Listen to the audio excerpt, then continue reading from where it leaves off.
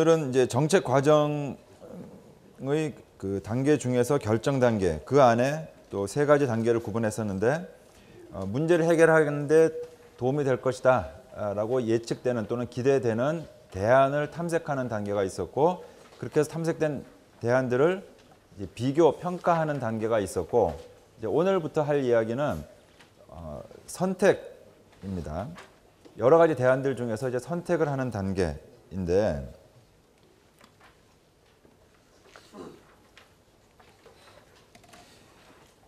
여러분 교과서의 437쪽에 보면은 정책 결정 모형을 뭐 규범적 모형, 실증적 모형, 또 합리 모형, 인지 모형 이렇게 구분을 해놨어요. 이 합리 모형과 인지 모형으로 구분한 거는 사실 내 개인적으로는 그렇게 적절한 용어는 아니라고 생각을 하는데 이 합리성에 대해서는 정책 결정 이론 다 소개한 다음에 따로 나중에 한번 또 다음번 주제에 볼 거고 규범적 모형과 실증적 모형 이 부분은 우리 전에 뭐 규범적 접근, 실증적 접근에서 얘기했던 것 마찬가지인데 규범적 결정 모형이라는 것은 우리가 현명한 또는 합리적인 또는 좋은 결정을 내리려면 뭘 어떻게 해야 되느냐 어, 그 방법을 가르쳐 주는 모형이 규범적 결정 모형이고 실증적 모형이라는 것은 이게 좋으냐 나쁘냐를 떠나가지고 실제로 사람들은 어떻게 결정을 하느냐 하는 겁니다. 실제로 정책이라는 것은 어떤 메커니즘을 통해서 어떤 과정을 통해서 결정이 되느냐입니다. 정책과 관련된 연구 중에서 어, 사실은 가장 많은 연구가 집중되어 있는 이슈가 바로 이 결정이라는 부분입니다. decision making. 실제로 어떤 결정이 어떤 식으로 어떤 메커니즘에 의해서 이루어지는가에 대한 모형들은 굉장히 종류가 많아요. 어, 그리고 딱히 그 정책학자다라고 분류되지 않은 사람들도 이런저런 그 결정에 대한 연구들이 무지 많이 있기 때문에 이걸 분류하는 것이 쉽지는 않은데 우리 교과서에서는 그냥 이런저런 것을 나열적으로 소개하고 있는데 음, 강의 노트에 보면은 크게 네 가지로 일단 구분을 해놨어요. 심리적인 접근 방법, 그 다음에 조직론적인 접근 방법, 정치론적인 접근, 마지막으로 문제 해결론적인 접근 방법. 자, 이 네 가지 큰 분류는 내가 개인적으로 어, 이런저런 다양한 분야에서 정책 결정에 관한 연구들을 나름대로 정리를 해 보니까 이렇게 할 수 있겠다라는 거지 어, 모든 학자들이 다 동의하는 일반적인 그런 분류는 아닙니다. 자, 일단 첫 번째 심리학적인 접근에서는 정책 결정이 어떻게 이루어진다고 보느냐 하면은 사람의 마음에 의해서 사람의 두뇌 작용에 의해서 이루어지는 것이 곧 정책 결정의 핵심이다라고 보는 겁니다. 그래서 팔스 디시전이라는 것이 결국은 인간의 두뇌 작용의 결과다라고 보는 거죠. 그래서 인간의 두뇌 속에서 뇌가 도대체 어떻게 작동을 하는지, 사람의 심리가 어떻게 작동을 하는지, 어, 인지 과정, cognitive process가 어떻게 이루어지는지 이걸 알아야 정책 결정에 대해서 제, 제대로 알 수 있다라는 겁니다. 사실 생각해 보면은 정책이라는 거 결국 사람들이 만드는 거예요. 그러면 사람들이 어떤 결정을 내릴 때 도대체 머릿속에서 무슨 일이 어떻게 이루어지고 있는가 요것을 아는 것이 정책 결정을 이해하는 지름길이다라고 보는 거죠. 음, 이 심리학적인 접근에 해당되는 연구들이 사실 여러 가지가 있는데 음, 이름 그대로 심리학에서 만들어진 각종 그 모형이나 또는 개념들을 정책 결정을 연구하는데 이렇게 차용을 해서 사용을 합니다. 예를 들면은 뭐 이모션, 뭐 미스퍼셉션 이런 것들이 쭉 있는데 이 부분은 나중에 그 다음번 주제 할 때 좀 더 자세히 다루도록 할게요. 어, 대개 이 심리적인 접근에서 다루는 내용들 가만히 보면은 뭐 꼭 그런 건 아닙니다만은 대체로 인간이라는 존재가 컴퓨터와 같이 냉정하고 합리적으로 결정하는 것은 아니다. 이런 어, 내용들이 많이 나옵니다. 이 부분도 합리적 판단을 저해하는 요인들 이 부분도 다음번 주제 때 우리가 합리성 얘기를 하면서 좀 더 다루도록 할 거고 음, 이 심리적 접근 방법의 가장 큰 장점이라는 것은 감정이입을 통해서 독자로 하여금 대단히 실감나는 간접 경험을 하게 해준다는 겁니다. 아주 그럴듯한 설명을 제공할 수 있다는 거죠. 어, 말하자면 여러분들이 소설을 읽을 때 소설 속에 그 등장인물들의 행위만 묘사되는 게 아니라 그 사람이 그 주인공이 마음속으로 어떤 생각을 했는지 어떤 고민을 했는지 하는 것들이 쭉 묘사가 되잖아요. 그러니까 우리가 그런 걸 읽다 보면은 마치 내가 그 소설의 주인공이 된 것처럼 이렇게 그 감정이입이 된다는 겁니다. 그래서 아 이런 상황에서 그래 이런 고민이 되면은 이럴 수 있었겠다. 아 충분히 이, 해가 된다 하는 식으로 아주 설명이 굉장히 실감 날 수 있다라는 거죠. 이게 제일 큰 장점인데 그에 못지않게 그 심각한 한계들이 있는데 요는 이겁니다. 사람 마음을 어떻게 알겠느냐 하는 거라고.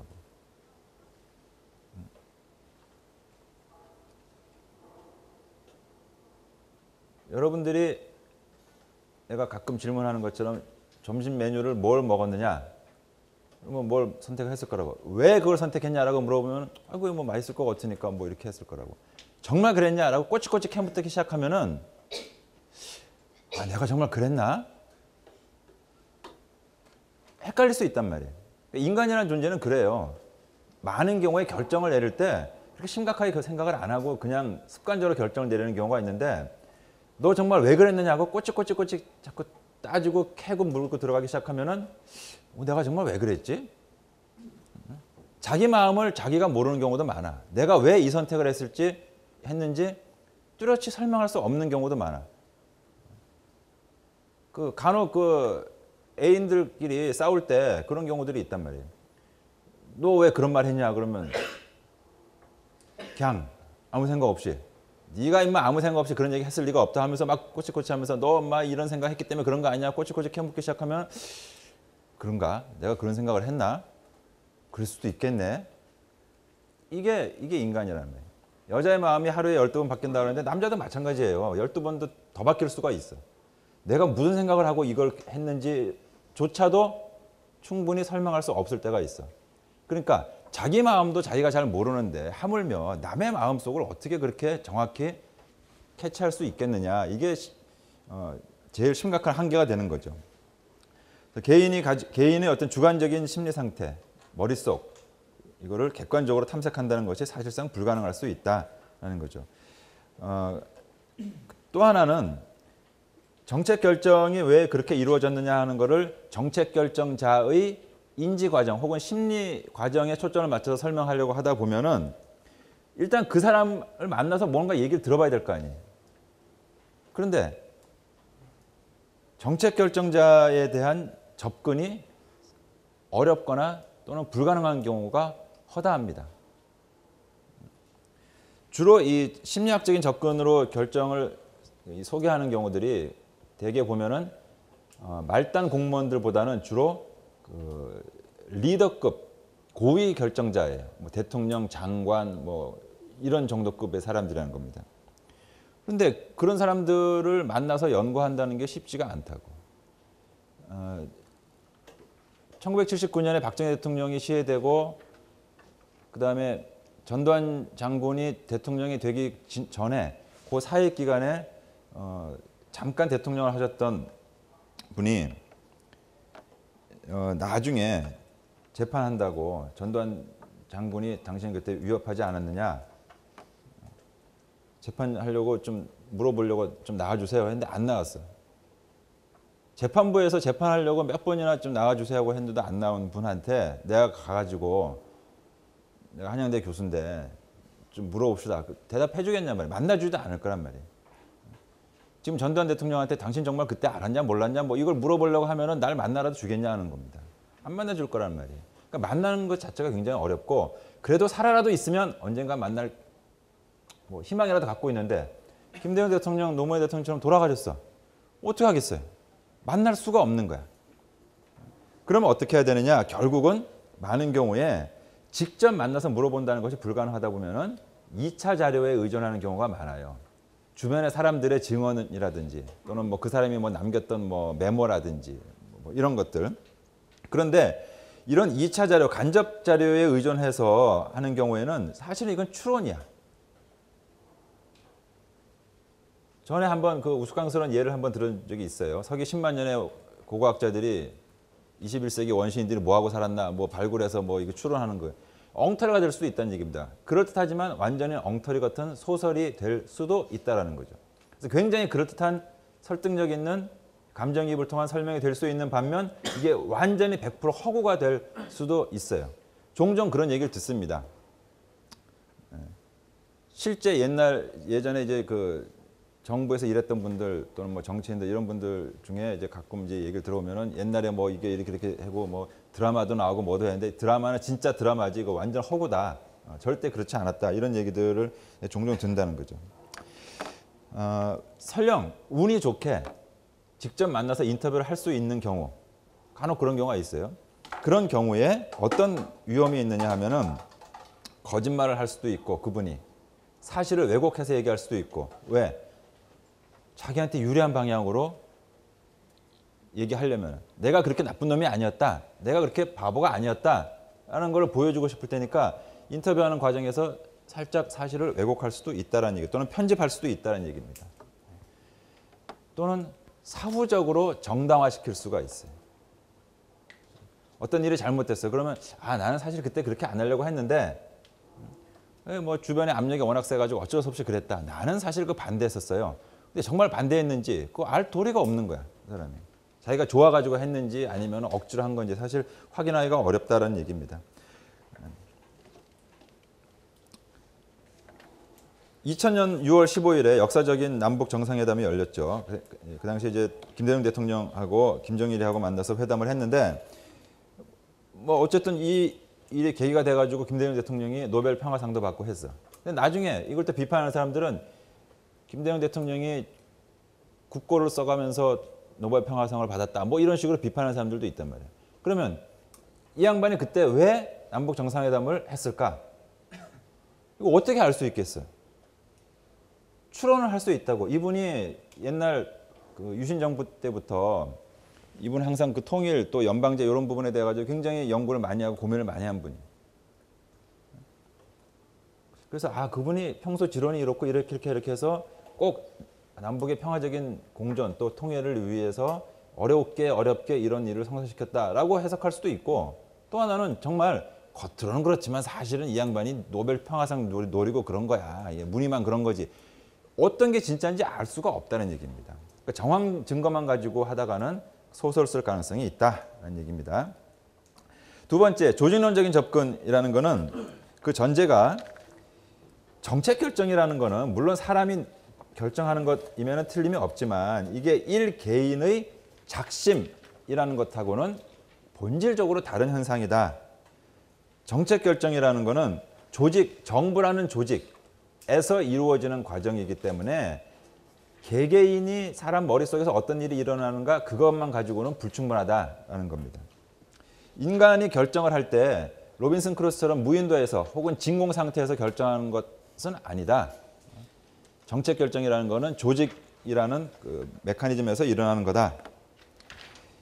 그런데 이 조직론 관점에서 정, 접근하는 경우에도 크게 두 가지로 또 분류를 할 수가 있는데 하나는 조직 자체를 단일한 의사결정 주체로 취급하는 그런 연구들이 있어요.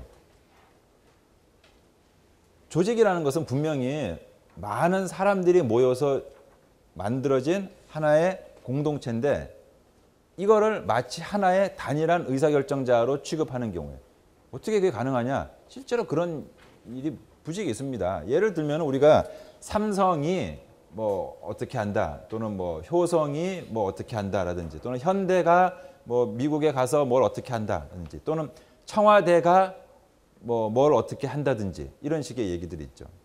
국무 국방부는 뭘 어떻게 한다 이런 식의 얘기들.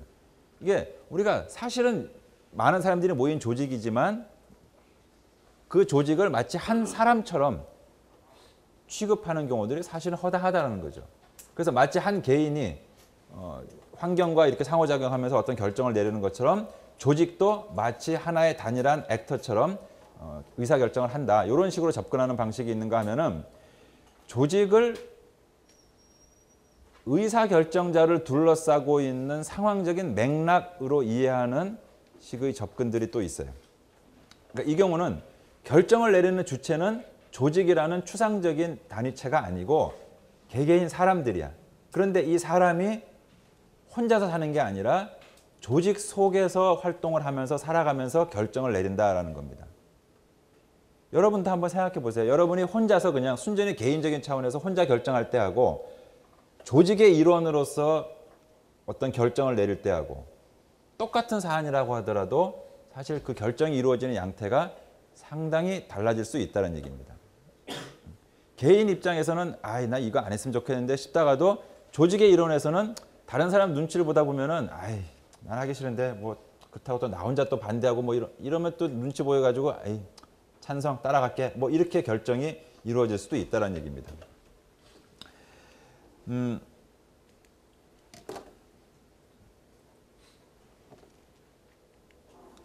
조직론적인 접근이 여러 가지가 있는데 그 중에서 이제 몇 가지만 골라서 소개를 하면은 우선 첫 번째로 그 사이버네틱스 모형이라는 게 있는데 이거는 조직 자체를 하나의 단일한 그 의사결정 주체로 취급하는 그런 접근이라고 볼 수가 있어요. 사이버네틱스 모형 같은 경우는요 이런 거예요. 그 쉽게 이해할 수, 할 수 있는 게 자동 온도 조절계 있죠. 그러니까 user가 일정 온도만 딱 세팅을 시켜 놓고 나면은 그 온도보다 방안 온도가 더 높아지면은 에어컨을 해가지고 온도를 낮춰주고 만약에 적정 온도보다 더 낮게 내려가게 되면은 자동으로 온풍기를 작동을 시켜가지고 방안 공기를 따뜻하게 만들어주고 하는 것. 이게 자동으로 이루어지는 게 핵심이에요. 이 사이버네틱스 모형에서는 비의도적 적응이라는 건 뭐냐면은 자동 온도 조절기를 한번 생각해 보세요. 그 기계는 어, 목표, 어, 방안 온도를 뭐몇 도로 맞추는 것이 좋은 것이냐 여기에 대한 가치 판단은 일절 없어요. 그냥 사용자가 집주인이 그냥 몇 도가 좋겠다고 설정을 해놓는 거야. 그럼 그러고 나면은 그 기계가 하는 일은 뭐냐?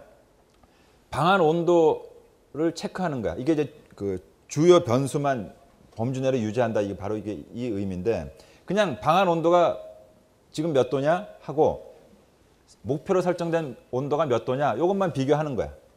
그래서 자동적으로 그냥 결정을 하는 거예요. 근데 그럼에도 불구하고 이 사이버네틱스 모형에서 볼 때는 상당히 효과적인 결정이 이루어진다라고 보는 겁니다. 그래서 그 실제 이제 행정 현장에서 나타나는 그 상황들 중에서는 예컨대 민원 서류 발급을 한다든지 뭐 운전 면허 시험 봐가지고 일정한 자격이 되면 그냥 자동으로 말하자면 그 면허증을 주고 또 뭐 자동차 등록한다든지 이런 수많은 일들 같은 경우는 그냥 일정한 요건이 됐냐? 아 오케이 그러면 너는 이거 됐어 해가지고 자격증을 준다든지 뭐 도장 찍어 준다든지 뭐 면허증을 발급을 한다든지 일정한 자격 요건이 안 되면 안 돼. 이거 너는 안 돼. 나중에 다시 와. 어, 탈락시키든지.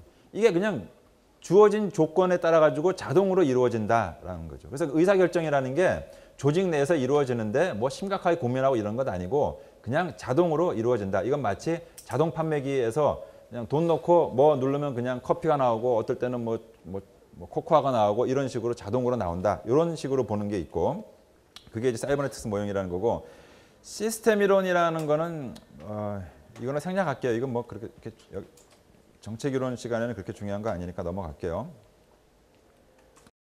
세 번째 회사 모형. 이 부분은 우리 교과서에 476쪽에 나와 있습니다. 9장 3절의 2번 476쪽.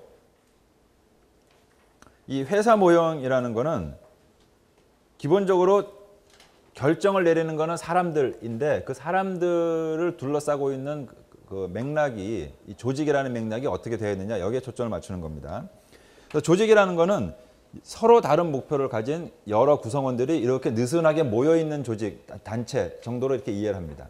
그러니까 조직이라는 것을 많은 사람들이 단일한 공동의 목표를 위해서 협력하는 것 이렇게 보지 않고 조직을 구성하고 있는 여러 부서들이 있는데 이 사람들이 서로 다른 목표들을 가지고 있다는 겁니다. 그러니까 얼핏 생각하면은 그게 말이 되나? 근데 자세히 생각해 보면은요.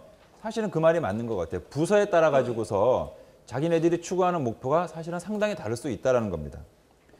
이 회사 모형에 대해서도 뭐 교과서를 읽어보면 여러 가지 얘기들이 나오는데 음, 예컨대 뭐 갈등의 준 해결, 그 quasi resolution이라고 하는데 갈등의 준 해결 이거는 이런 겁니다.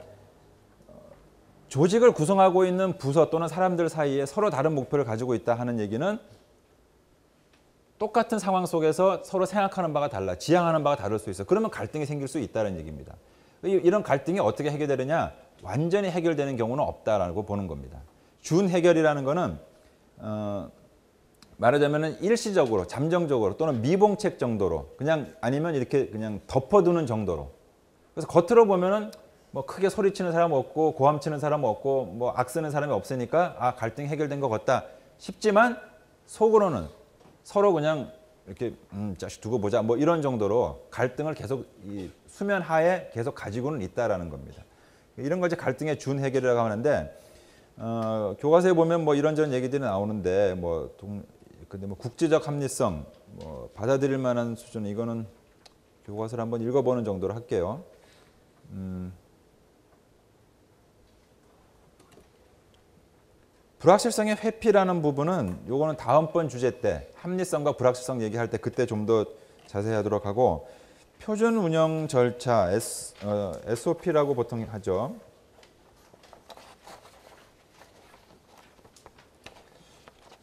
SOP라는 거는 조직론 또는 뭐 행정 개론 시간에도 나왔던 얘기들이긴 한데 어,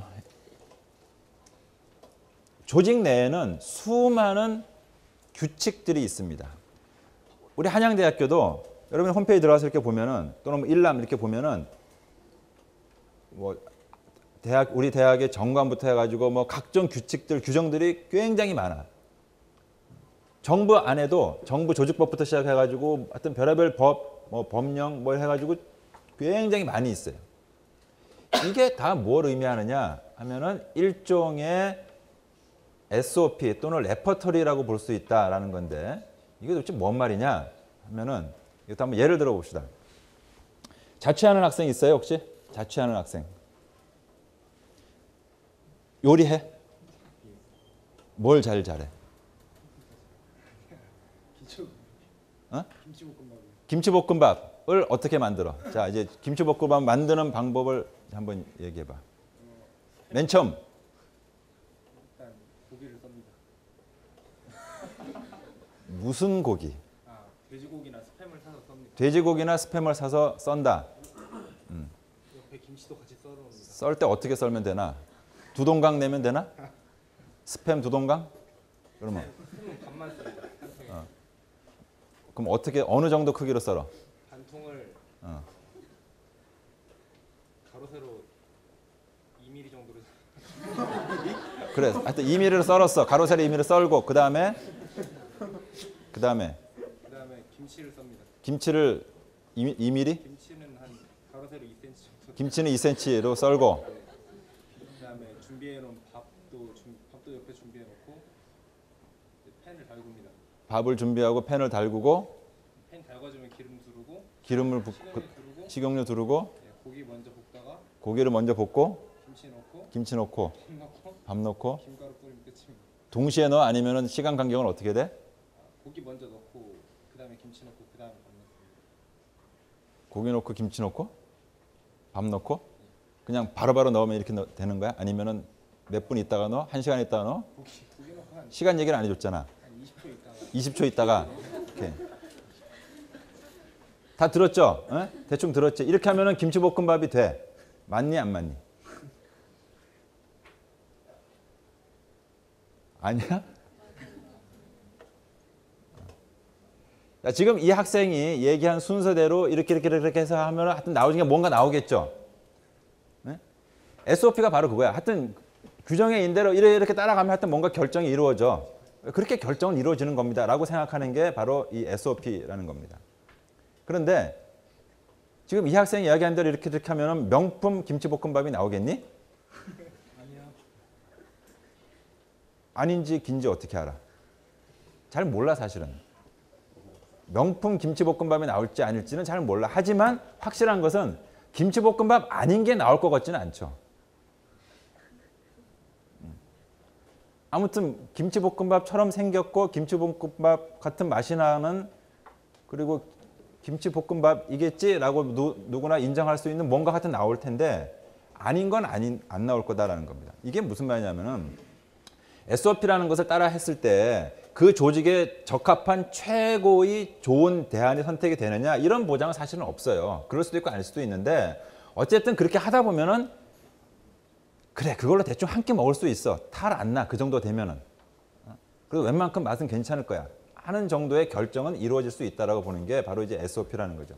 그래서 되게 어느 조직에도 보면은 그 수많은 결정들 에, 규정들이 있는데 이게 다 어떤 문제가 생겼을 때 어떻게 해야 될까? 아 그러면 요 규정을 대로 이렇게 이렇게 적용시켜 나가면은 해결책이 나온다라고 보는 거죠. 그렇기 때문에 대개 조직이 처음 생겨났을 때는 이런저런 규정을 갖춘다고 해도 미흡한 게 많아.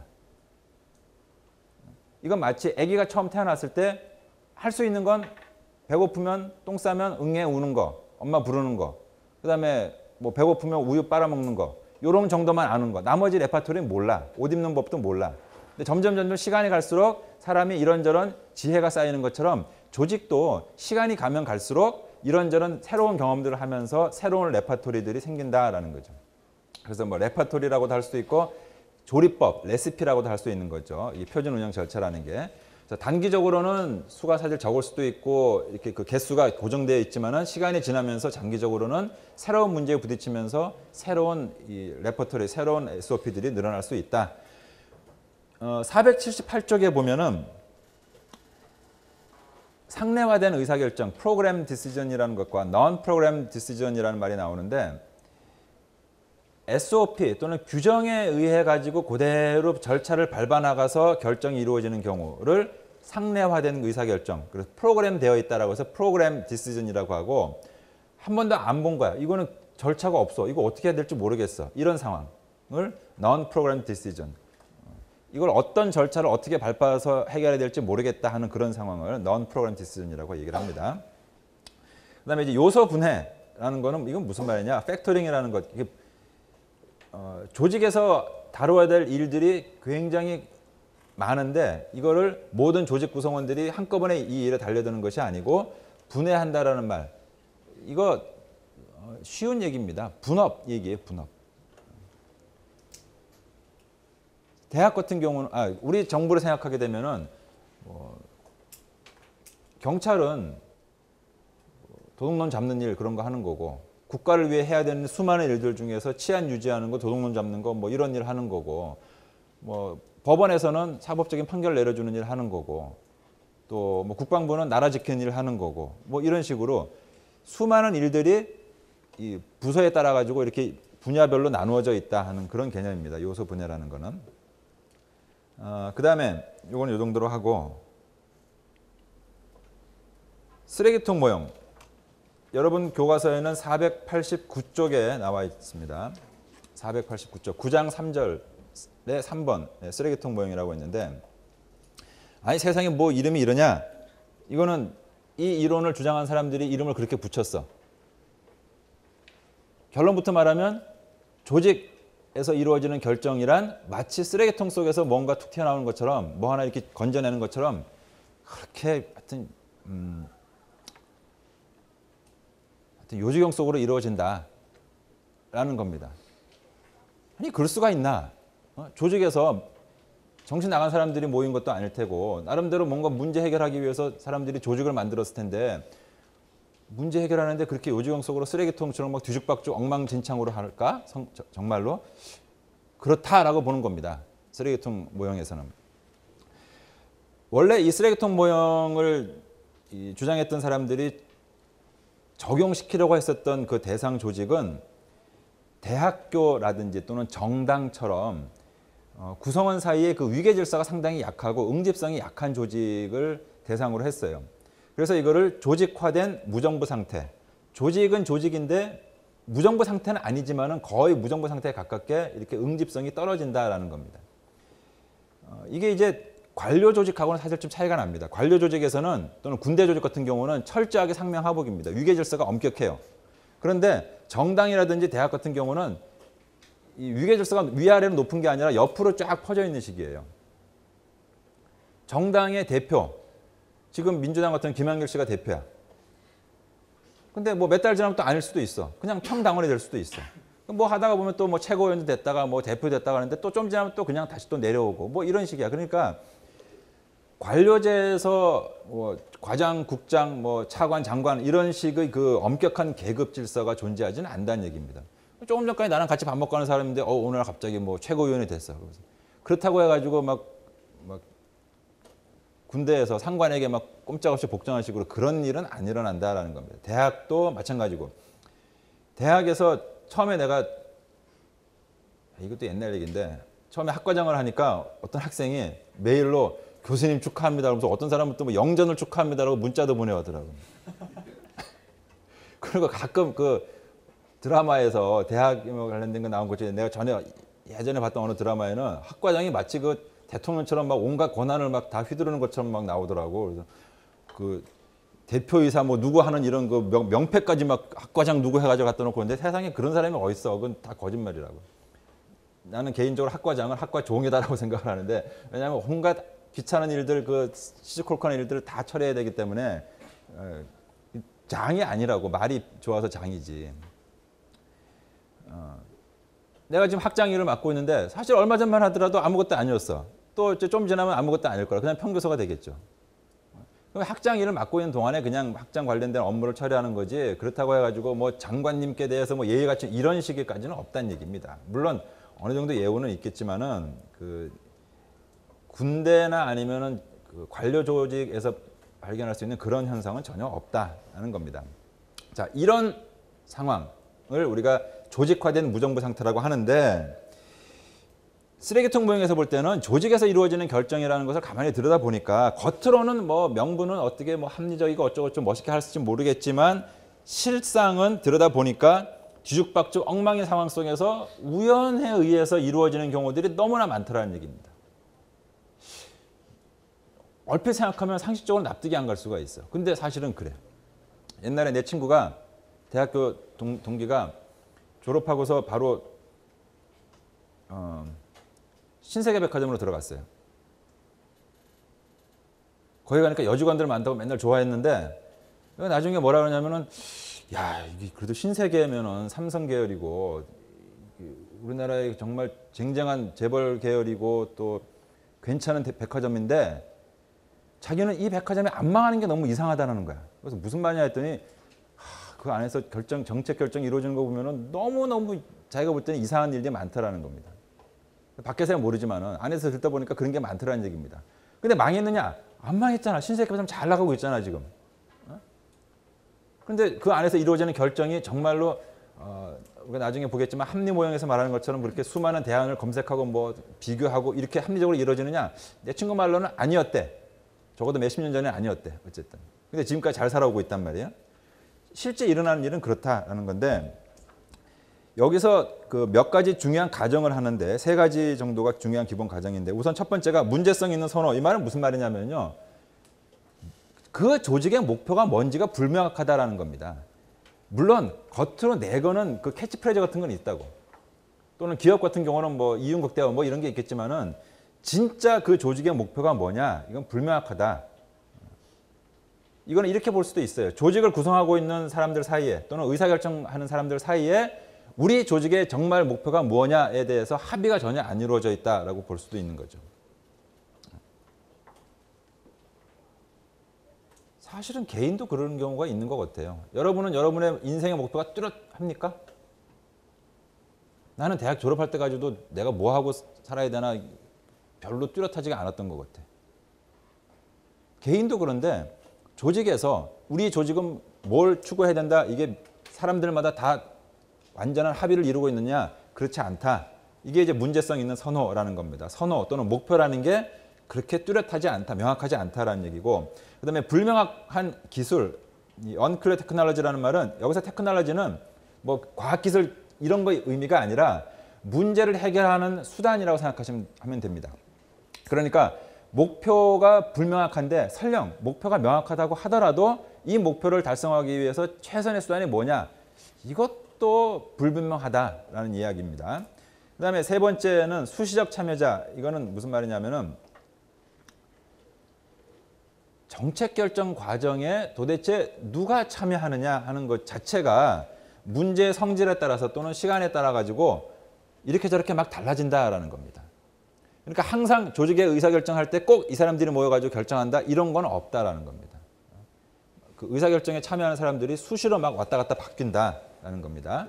자 이런 기본 가정 하에 조직을 이 네 가지 여기 스- 원어로는 stream이라고 하는데 이걸 어떤 사람은 줄기라고도 번역하고 어떤 사람은 흐름이라고도 번역합니다. 아무튼 이 네 가지의 흐름 또는 네 가지 요소가 마치 쓰레기통 속에 오만 잡다한 것이 막 뒤섞여 들어가 있는 것처럼 이 네 가지가 그냥 조직이라는 쓰레기통 안에 막, 막 엉터리 같이 막 뒤죽박죽 돼가지고 막 구겨져 들어가 있다라는 얘기입니다. 그렇게 비유로 그렇게 생각하면 돼. 네 가지가 뭐냐? 문제라는 것이 있고 그다음에 해결책, 정책 수단 또는 대안이라고 생각하면 됩니다. 그다음에 세 번째는 참, 의사결정에 참여하는 사람들. 네 번째는 기회. 이네 가지 요소가 조직 안에 그냥 막 뒤죽박죽 돼가지고 흘러다닌다 이렇게 생각하면 돼요. 근데 얼핏 생각하면 좀 이상합니다. 왜냐하면은 우리가 그 전에 이제 정책 과정을 쭉 얘기하면서 맨 처음에 뭘 얘기했냐면은 문제를 인지하고 정의 내리는 문제 형성 단계 얘기했어. 얼핏 생각할 때도 결정을 내리는 거는 사실 뭔가 해결하려고 하는 문제가 있기 때문에 아니냐. 그러면 결정이 이루어지기 위해서는 당연히 문제가 먼저 전제가 돼야 되겠죠. 그런데 쓰레기통 모형에서 볼 때는 그게 아니고 문제는 문제대로 그냥 둥둥 흘러다니고 해결책 또는 정책 대안이라는 것도 그냥 막 흘러다니고 사람들도 막 이렇게 막 왔다 갔다 하고 있고 이게 막 뒤죽박죽 막 동시에 막 섞여 있다는 얘기입니다. 그래서 어떤 경우는 이런 문제가 있으니까 이런 대안을 쓰면 되겠다 이렇게 되는 경우도 있지만 반대로 이런 대안을 써먹고 싶은데 요거를 어디에다 써먹어야 되나 이렇게 봤더니 이런 문제가 있어 아요 문제거리 괜찮다 해가지고 이 문제를 위해서는 이 대안을 써야 됩니다. 그러니까 형식적으로만 보면 겉으로 보면은 아 이런 문제가 있으니까 이런 대안을 써야 된다 이런 식의 순서가 되는데 사실은 이 문제가 먼저 있고 나서 이 해결책을 찾는 게 아니라 요 해결책, 요 수단, 요 방법을 뭔가 하여튼 써먹고 싶어. 근데 이게 적당한 기회가 없었는데 좋은 기회에 어, 요, 요 문제가 있잖아 우리가. 그럼 요걸 하려면은 내가 지금 얘기하는 이 대안을 쓰면은 잘 될 거야. 이런 식으로 거꾸로 된다는 얘기입니다. 며칠 전에 뉴스를 보니까 경기도 경기도지사가 그랬다든가 경기도에서 그랬다든가 어, 청년 실업 해소를 위해서 수도권 규제 완화해야 된다 이런 주장을 했어요. 이게 형식적으로만 보면요, 어, 우리 사회의 청년 실업이라는 것이 최근에 많은 문제가 되고 있어. 그래서 이걸 어떻게 해결할까? 이 해결하는 것 중에 하나는 수도권의 그 지나친 규제를 완화해서 어, 공장이나 기업들이 수도권 쪽으로 많이 오도록 만드는 거다. 그러면 일자리가 많아질 거다. 청년 실업 해결될 수 있다라는 식이죠. 그런데 수도권 규제 완화해야 된다는 얘기는 경기도에서 늘상 옛날부터 하던 얘기야. 경기도지사가 특히 이제 김문수 도지사 같은 경우는 툭하면 그냥 이거 해결, 이 수도권 규제 완화돼야 된다고 맨날 늘 하던 얘기야. 그러니까 요거는 경기도지사가 늘 추진하고 싶은 일이야. 근데 이제 그 전에는 뭐 노무현 대통령 때 같은 경우에는 노무현 대통령 당시에 이 중요한 국정 과제로 꼽았던 게 전국을 균형 있게 발전시키자는 거였어요. 균형 있게 발전시키자. 뭐 이제 이런 얘기하면서 이걸 위해서라도 수도권 규제 완화해야 된다. 다른 지역 발전 안 했기 때문에 수도권 규제를 완화, 어, 수도권을 규제를 강화하는데 그러다 보니까 오히려 이 경기도권 쪽에는 공장 짓는 게 쉽지가 않다. 그래서 오히려 이게 안 좋다. 뭐 이런 식으로 했단 말이에요. 근데 그 똑같은 정책 수단, 수도권 규제를 완화해야 된다는 그 정책 대안을 이제는 청년 실업이라는 새로운 문제를 갖고 와가지고 이것 위해서 우리가 수도권 규제 완화라는 정책을 시행해야 된다. 이렇게 주장한다는 거죠. 청년 실업이라는 게 지금 새로 나타난 문제냐? 아니야. 이미 사실 꽤 됐어. 그러니까 문제는 문제대로 있었고 수도권 규제 완화라는 그런 대안을 항상 주장하는 사람이 있었고 그러니까 문제가 생기고 그 다음에 대안을 찾아보고 이런 식으로 차례차례 이루어지는 것이 아니었다라는 거죠. 음, 점화 계기라는 것은 이 triggering event라고 하는데 이게 이제 어, 문제 인식 단계에서 그 초점 사건 얘기할 때도 했지만은 의사결정 과정에서 어, 점화 계기라는 거는 의사결정의 네 가지 요소, 문제 해결책 참여자 기회, 요것을 합치게 하는 어떤 우연한 사건이나 계기를 말합니다. 점화, 계, 점화 계기, triggering event라는 거는. 그래서 뭐 대형 사고가 될 수도 있고 정권이 바뀌어서 이런 일이 일어날 수도 있고 어, 대학에서 이루어졌던 일, 그 결정 중에 요 쓰레기통 모형으로 설명할 수 있는 것들이 사실 꽤 있는데 음, 이거를 실명을 밝히면 좀 그렇겠죠. K 대학이라고 합시다. K 대학이 있었는데 어, 지금도 있죠. 옛날에 총장님이 경영대에서 총장님이 됐어. 그래서 이분이 주장한 게 뭐냐 하면은 과학화와 세계화를 이 K대가 나가야 될 방향 그래가지고 탁 내세운 거예요. 그래서 그쪽으로 이제 학교 방침을 정해놓고 이렇게 쭉 가다가 그 다음번 총장 선거에서 누가 됐냐면은 국문과 교수님이 총장이 되셨어. 그러더니 이분이 내세웠던 건 뭐냐면은 효. 효가 이게 어, 인간의 근본이다 해가지고 명심보감을 1학년 신입생들한테 의무적으로 다 듣게 했어. 이분이 직접 강의까지 막 하시면서 막 열정적으로. 그래서. 그리고 몇 년이 지난 다음에 또 다른 총장님이 이제 선거를 통해서 했는데 이분은 또 경영대 교수님이었는데 이분은 총장 하시기 전부터 뭐 이런저런 보직을 많이 하셨어요. 뭐 이런 뭐 처장도 하시고 그러는데 처장 하시면서 그 시절부터 지론이 뭐였냐면은 애들한테 물어봐라. 이 K 대학이 좋아하는 뭐 민족 막걸리 이런 것 애들 다 싫어한다. 그러니까 좀 세련되게 바꿔야 된다. 그래서 이분이 총장 선거에서 당선이 되신 다음에 착 바꾼 거예요. 그 전까지만 해도 1학년 애들한테 명심보감 효 막 이러다가 180도 확 바뀐 거야. 그러니까 그 전에 과학화 세계화 하다가 180도 바뀌어가지고 효가 중요하니라 해가지고 명심보감 하다가 갑자기 또 확 바뀌어가지고 뭐 민족을 버렸다 뭐 하면서 막걸리도 버리고 어, 민족도 버리고 세계로 나가자 그러면서 영어 강의를 막 한 거야. 영어 강의 40%뭐 한다 뭐 이 학교 때문에 다른 많은 학교들이 지금 피곤해하고 있는 겁니다. 여러분들도 이분 때문에 이렇게 된 거야. 그러니까. 그러더니 이제 또 세월이 흐르고 지난 다음에 또 다른 분이 이제 법대 출신 교수님이 이제 딱 됐는데 아 이분은 사회봉사가 중요하니라 해가지고 사회봉사단 만들고 우리도 봉사활동 합시다 이렇게 해가지고 이게 바깥으로 보면요 바깥에서 보면은 그래 지금 상황에 맞춰가지고 이렇게 된 거야 이렇게 해석할 수도 있어 그런데 가만히 생각해 보면은 과학화 세계화 효 영어 아니야 사회봉사 이게 도대체 저 안에서 무슨 일이 일어났길래 이런 궁금증이 생기지 않습니까? 가만히 생각해 보면은. 근데 이게 결국은 이런 거예요. 그 안에 사실은 이미 그 총장을 했던 사람들은 이미 다 그 학교 교수로 다 있었어. 그리고 그분들은 원래부터 지론이 그거야. 효, 명심보감 중요하다, 아니다, 과학화, 아니면 뭐 아니다, 영어 또는 뭐 사회봉사 중요해 이렇게 다 하던 분들이었어. 이런 대안들이 다 있었어. 그런데 총장 선거라는 그런 그, 그 계기가 돼가지고 의사결정할 수 있는 그런 기회를 잡게 된 거죠. 그래가지고 그분들이 지향하는 바대로 이렇게 그냥 그 정책을 확확확확 바꾸는 일이 이루어졌다라는 겁니다. 이 마지막에 얘기했었던 그 사회봉사 같은 경우는 사실 어 이게 좀 내가 개인적으로는 좀 그 기분 나쁜 일이 불쾌한 일이었는데 요때가 내가 그 사회봉사단 이제 그 부단장 하던 시절이었는데 어 이분이 이제 그 선거 공약 중에 하나로 사회봉사단 만들겠다라고 하고 당선이 되셨어요. 된 다음에 이제 직원 직원들한테 사회봉사단 만들자라고 했더니 이 학교는 이런 경험이 없어. 근데 한양대학교는 우리가 사회봉사단 언제 만든지 압니까? 여러분? 거의 20년 됐어. 되게 오래됐어.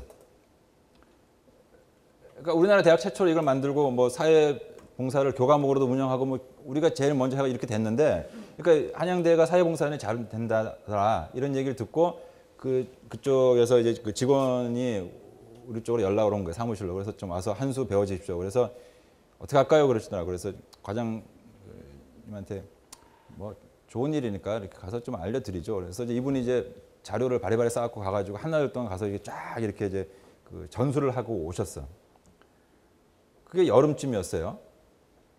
그몇달 뒤에 겨울 무렵이 되는데 9시 뉴스를 이렇게 보는데 뉴스 시간에 그 총장님이 나오는 거야. 그 학교 애들하고 이렇게 초록색 조끼 입고서 연탄 봉사하고 있는 거야. 그래서 뭐 하시네 그래도. 그랬더니 인터뷰를 하는데 이 양반이 아 우리 K대가 대학 최초로 사회봉사를 만들고 뭐 요런 얘기를 하고 있는 거야. 그래서 실제로 이게 우- 우리 그 학교에서 조금 약간의 문제가 될 뻔했는데 그냥 에이 뭐 좋은 거 가지고 자꾸 뭐 이렇게 그냥 트입 잡지 맙시다. 뭐 어쨌든 좋은 게 퍼지면 좋은 거죠. 해가지고 그냥 덮어놔 버렸는데 만약 내가 이분을 개인적으로 만난다면 그때 왜? 정말 모르고 그러셨습니까? 아니면 알고도 그랬습니까? 내가 물어보고 싶어. 어, 요거는 편집 안 해도 될 것 같아. 있는 사실 내 객관적으로 그대로 얘기하는 거니까. 네.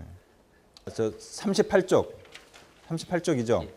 38쪽 맨 밑에 보면은 기타 의사결정 방식 여기 493쪽에 나오는데 진 빼기 결정 이게 영어로는 그 choice by flight라고 하는데 이게 의미가 진 빼기 결정이라고 하는 게 더 정확한 것 같아요.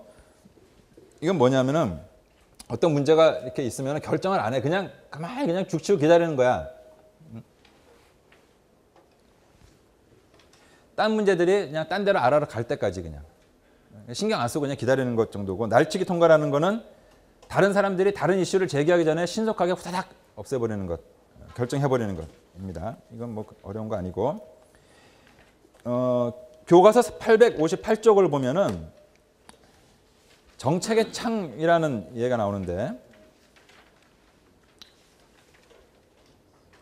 킹든이라는 학자가 이 쓰레기통 모형을 살짝 변형시켜 가지고 응용해서 정책의 창, policy window model, 모델이라는 것을 제시를 했는데 여기서 말하는 정책의 창, window라는 것은 쉽게 말하면 기회라고 생각하면 됩니다. 어떤 특정한 이슈가 정책 의제로 올라갈 기회 혹은 어떤 특정한 수단이 정책 대안으로 선택될 기회. 858쪽에 보면 나와 있으니까 교과서를 나중에 한번 보도록 하고 어, 이 정책의 창 모형에서는 세 가지 흐름이 동시에 흘러다닌다라고 보는데 하나는 문제, 두 번째는 정치, 세 번째는 정책 대안의 흐름입니다. 그리고 전에 정책 선도자 팔레스 엔트로프레너 얘기했었죠.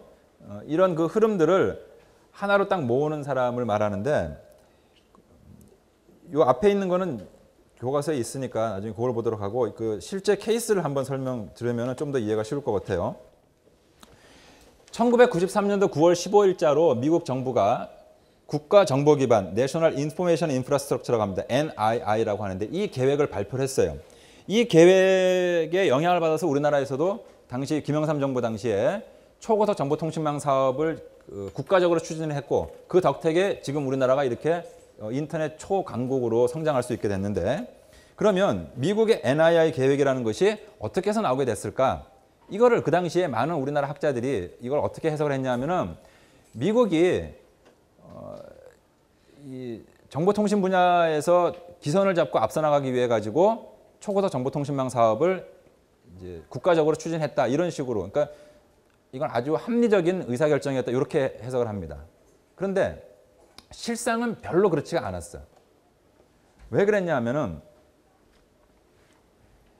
명분을 놓고 보면은요 이래요. 이 NII 계획 그 보고서를 보면은 미국이 처해 있는 여러 가지 문제가 있어. 뭐 교육의 문제, 실업의 문제, 뭐 무역 적자 문제, 뭐 이런저런 문제를 있으면서 이런 문제에 대한 효과적인 대안이 바로 초고속 정보통신망이다.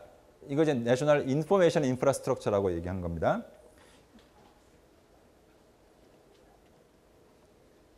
실제로는 이게 어떻게 된 거냐 하면은 이 보고서에서 해결해야 될 문제, 즉 그 정보통신망이라는 정책 수단을 통해서 해결할 수 있다라고 이 꼽았던 문제들, 미국의 경쟁력이 악화되고 교육이 뭐 어떻게 되고 또 뭐 실업이 뭐 어떻게 되고 뭐 이런 문제들은 이미 70년대부터 계속 있던 문제예요. 늘 그냥 계속 있던 문제들이야. 그러니까 그때 새로 만들어진 새로 인식된 문제가 아니라 그냥 늘 많은 사람들이 이거 문제다라고 항상 이렇게 있었던 문제고 미국 정부 내에서도 나름대로 해결책을 찾으려고 했었던 그런 문제들이야. 그러니까 전혀 새로운 문제가 아니야. 항상 있었던 문제들이에요. 그다음에 정책 대안 3번을 보면은 정책 대안의 흐름 policy stream이라는데 이 policy라는 거는 구- 어, 정해진 결정이라는 의미보다는 대안이라고 생각하면 됩니다. policy alternative. 정책 대안들의 흐름. 여기서는 정책 대안이 뭐냐? 정보통신망이라는 것 또는 뭐 디지털 네트워크라는 거. 이거는 이미 오래전부터 있었어요. 지금의 인터넷의 그 효시, 효시로 꼽히는 게 사실은 미군이 미국 어, 국방부에서 이- 그 전산망 사업을 이미 옛날부터 하던 거라는 겁니다. 그리고 미국 전역을 하나의 거대한 전, 그 통신 네트워크로 연결한다라는 거는 이미 그 전에도 있었어. 그래서 어, 국가 연구 교육 전산망 뭐 이런 것도 있었고 인터넷이라는 말은 안 썼지만은 다른 용어로 해가지고 미국 전체를 이렇게 하나의 그 거대한 전산망을 엮는 이런 디지털 네트워크는 이미 있었어. 그러니까 새로 지금 만들자가는 사실 아니었고 이미 그 디지털 통신 네트워크는 이미 막 있었단 말입니다. 중요한 건 뭐냐면 이 정치 흐름에서 하나의 변화가 있었던 건데 1992년에 미국 대통령 선거에서 그, 어, 아버지 부시 대통령하고 그 다음에 클린턴 후보하고 붙었어요. 근데 아버지 부시가 별로 인기가 그 당시 없어가지고 선거에서 지고 민주당의 클린턴 후보가 대통령 당선이 됐는데 클린턴이 러닝메이트로 지목했던 사람이 지금 이 사진에 있는 알 고어였어요. 상원 의원이었어요. 이 사람이 러닝메이트가 돼서 대통령 선거전에서 승, 승리한 다음에 부통령이 됐잖아요. 부통령이 되고 나니까 이 사람이 이, 이 NII 계획을 추진을 한 거야. 그래서 밑에 보면은 정책 선도자 policy entrepreneur에 해당되는 사람이 바로 이 알 고어라는 사람인데 이 알 고어라는 사람은 아마 여러분들이 들어봤겠지만은 환경 문제에 대해서 전문가 해박한 지식을 가지고 있어. 또 하나 이 사람의 이 주 종목이 두 가지인데 환경 이슈하고 그다음에 두 번째가 그 정보 네트워크예요. 이분이 사실은 아버지가 옛날에 미국에서 상원의원 하면서 미국 전역을 연결하는 그 주와 주를 연결하는 그, 그 인터스테이트 하이웨이라고 합니다. 주와 주를 연결하는 고속도로. 이거 망을 건설하는 법을 만든 게 바로 이 아- 알고 아버지였어요. 상원의원 하던 시절에. 근데 이 아들 고 부통령은 상원의원 하던 시절에 환경 문제에 대해서 법을 많이 만들었고 또한 이 전산망에 대해서도 많은 법을 이미 만들어 놨었어. 그래서 국가 뭐 교육 연구망 뭐 사업 이런 것들을 이미 막 추진하고 있었던 거예요. 그러니까 고도 이미 있었고 상원 의원으로. 디지털 네트워크 이미 있었고 법안도 이미 있었고 문제 흐름이라는 문제들 거리들 이거 이미 오래전부터 계속 있던 문제들. 새로운 게 하나도 없어. 다 있던 것들이야. 다만 바뀐 게 뭐냐? 92년 대통령 선거에서 민주당이 이겼다는 거. 그리고 클린턴 후보가 하필이면 알 고어를 부통 러닝메이트로 지명을 했다라는 거. 그래서 선거에서. 그래서 이 네 가지 요소가 어, 합쳐지게 된 거죠. 이 합쳐가지고 NII 계획을 만드는데 주도적인 역할을 했던 게 바로 이 알 고어라는 개인이었고 이 사람이 그럴 수 있었던 거는 이제는 상원의원 정도가 아니라 부통령이라는 국정 최고 지도자급이 됐기 때문에 이제는 그 기회를 잡아가지고 자기가 그 선호했었던 디지털 네트워크라는 것을 새로운 문제하고 연결을 시켜가지고 예전에는 전산망 하면은 그래 이건 뭐 금융을 위해서 또는 뭐 교육을 위해서 이랬다가 이제는 뭐 국가의 경쟁력 문제, 뭐 교육 문제, 뭐 실업 문제, 경제 문제 이런 것들을 다 치료할 수 있는 아주 좋은 대안이다. 그러니까 새로운 문제거리가 나타난 건 아닌데 새롭게 포장을 한 거예요. 이런 이런 시급한 미국의 문제들 해결하려면은 이게 제일 좋은 거다. 그래서 이때 이 그 고호가 주장했었던 디지털 네트워크를 팻 솔루션이라고 합니다. 이런 거를. 여기 보면은 정책의 창 개념에 보면은 자기들이 애호하는 해결책. 요게 정책 대안인데 내가 항상 써먹고 싶어 하는 대안인 거예요. 그러니까 아까 정책과학대학 같은 경우도 이렇게 생각할 수 있겠죠. 그 그분 같은 경우에는 그 부총장님 같은 경우는 이제 나름대로 우리 대학이 잘 되려면 또 앞으로 뭐 이렇게 되려면은 어, 이런 교육이 정말 필요해. 평소에 소신을 그런 소신을 갖고 있었겠죠. 근데 그런 결정을 할 수 있는 그런 위치에 딱 됐을 때 그런 기회가 왔을 때 거기서 자기가 주장했었던 자기가 평소에 선호했었던 그러니까 팻이라는 게 애완견 할 때 쓰는 얘기잖아요. 뭐만 있으면 이걸 써먹고 싶어 하는 그런 거. 그래서 팻 솔루션을 관철시킬 수 있게 되었다라는 겁니다. 그런 것을 이런 식으로 결정이 이루어진다 하는 것을 정책의 창 모형이라고 합니다. 그 다음에 정치론적인 접근 방법 세 번째로 이 팔리틱스 어프로치라는 것이 있는데 이거는 정책 결정이라는 거는 룰에 의해서 이루어지고 뭐 사람 머릿속에서 이런 것보다도 더 중요한 거는 사람과 사람과의 관계에서 나타나는 건데 제일 중요한 거는 결국 정치다. 사람들이 모여 있으면은 그 안에서 정치 현상이 나타나게 돼 있다. 정치라는 거를 어, 쉽게 정의한다면 who gets what and how입니다. 누가 뭘 얼만큼 어떻게 가져갈 것이냐 하는 거. 요게 정치의 핵심인 거예요. 이게 뭐 관직이 될 수도 있고 돈이 될 수도 있고 어? 뭐 지위가 될 수도 있는 거죠. 사람들이 모여 있다 보면은 생각하는 바가 똑같지가 않아요. 원하는 게 다르고 생각하는 게 다르고 인과관계에 대한 이 지식도 전부, 달라. 그러다 보면은 이렇게 서로 상충되는 의견 가운데서 자기가 원하는 바대로 일을 추진하고 싶어 해. 다들 그런 식으로 각- 생각을 하죠. 그러면 그들 사이에서 어떤 식으로든 상호작용이 일어나게 되는데 이거를 우리가 넓게 팔로틱스라고 한다라는 겁니다. 따라서 정치론적인 접근 방법의 이 기본 전제가 정책 결정이라는 것은 서로 자기 주장을 내세우고 서로 자기 이익을 관철시키려고 하는 사람들 사이에서 말하자면 파워 팔리틱스 게임이 이루어지고 그 게임의 결과로 결정이 이루어지게 된다. 따라서 정책 결정이라는 말은 곧 정치라는 말과 동의어다. 정책 결정 과정이란 말은 곧 정치 과정이라는 말과 동의어다. 정책 결정이라는 현상 자체가 가만히 들여다보면은 서로 자기 입김, 자기 영향력, 자기 주장 관철시키려고 이렇게 막 경쟁하는 그런 관계다. 그런 상황이다. 정치 상황이다라고 보는 거죠. 그래서 정치론적인 접근 방법 중에 어, 대표적인 게 이제 의회 정치 이론인데 이거는 정치인들의 초점을 맞추는 겁니다. 정치인들이 어, 그 권력을 잡기 위해 가지고 어, 그 투표하는 사람들의 이 이익을 잘 반영해 줘야 어, 표를 많이 얻는다. 뭐 이건 그 전에 했었고 뭐 의회 정치와 관련해서 뭐 나눠 먹기라든지 뭐 담합, logrolling 이런 얘기들은 뭐 다 알 거고. 그다음에 관료 정치 이론 요것만 설명하고 마치도록 할게요. 그러니까 의회 정치 이론은 정책 결정이라는 정치 게임에 참여하는 주전 선수는 의회에 있는 국회의원들이다 또는 지방의회 의원들이다. 이렇게 보는 시각이고 관료 정치 이론은 아니야. 입법부보다는 실제 행정부에 있는 관료들이 정책 결정이라는 정치 게임의 주인공들이다. 이렇게 보는 시각입니다. 그런데 정부 관료들의 서로 생각이 다른데 어, 앞에 보면은 맨 밑에 영어 일곱 개, 여덟 개 단어로 된 쉬운 문장이 하나 있습니다. 중학교 1학년 수준의 영어 문장인데 이거 어떻게 해석하면 될까요?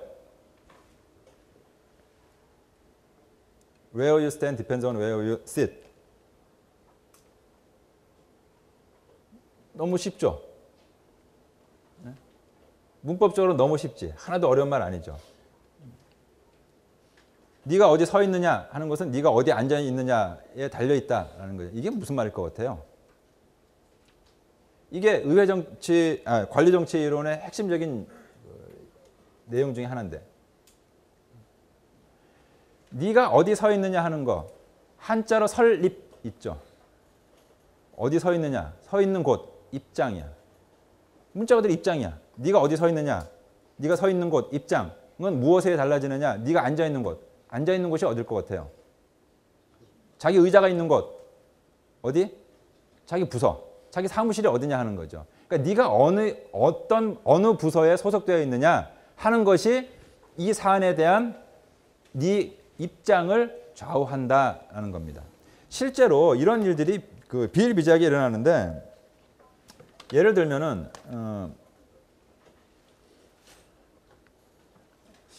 꽤된 것 같은데 그 강원도 영월 쪽에 그 동강 있잖아요. 그 지금 뭐 래프팅하고 막 그러는 데인데 이 동강을 관광 명소로 개발하자라는 이슈가 막 나왔을 때 똑같은 대한민국 정부 내에서 환경부에 있는 사람들은 아니다. 자연을 그대로 보존하는 게 더 중요하지. 그거 괜히 개발했다가 오히려 환경 망치고 쓰레기 판되고 안 된다. 이런 입장이었고 건설 당시 건설교통부에서는 아니다. 이거 개발해가지고 더 많은 사람들이 잘 누리도록 하는 것이 좋다. 그러니까 똑같은 사안인데 환경부에 있는 사람, 건교부에 있는 사람 어느 부서냐 따라 가지고서 완전히 시각이 달라지더라라는 얘기입니다.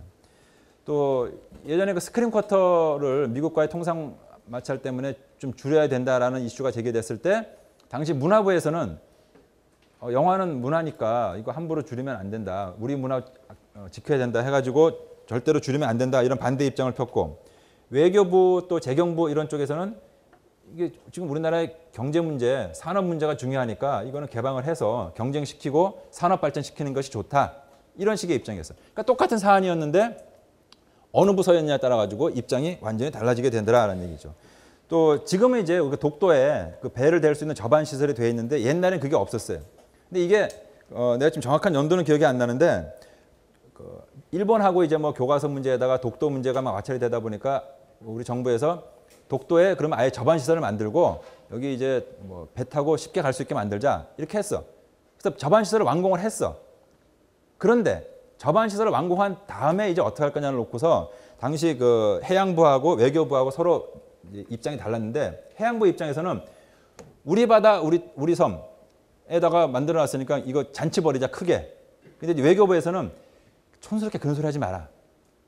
지금 일본하고 그 독도 문제 가지고 이러고 있는데 이게 시끄럽게 되면은 일본을 자극해서 일본이 또 문제 제기하고 그러면 가만히 있으면 우리 건데 이거를 떠들썩하게 해가지고 문제가 되면은 다른 나라 사람들이 뭔데 하고 차려다 볼 거고 이게 관심을 갖고 사람들이 외국 사람들이 바- 바라보다 보면은 이게 곧 일본 사람들이 원하는 대로 국제 분쟁이 돼가지고 국제 사법 재판소까지 갈 수도 있는 거다. 가만히 있으면 다른 나라 사람들은 관심도 없으니까 분쟁거리가 되지 않는다는 거예요. 그러니까 외교부 입장에서는 그냥 배 왔다 갔다 하면 되지 조용히. 근데 그 해양부에서는 아니 우리 건데 왜 해가지고 막 큼지막하게 해야 된다. 뭐, 뭐 이랬던 거죠. 결국 어떻게 결정이 되느냐? 입장이 다른 부서들 사이에 power politics가 일어나요. 실제로 어떤 power politics가 일어나는지를 보여주는 아주 좋은 사례가 있는데 요거는 다음 시간에 be continued.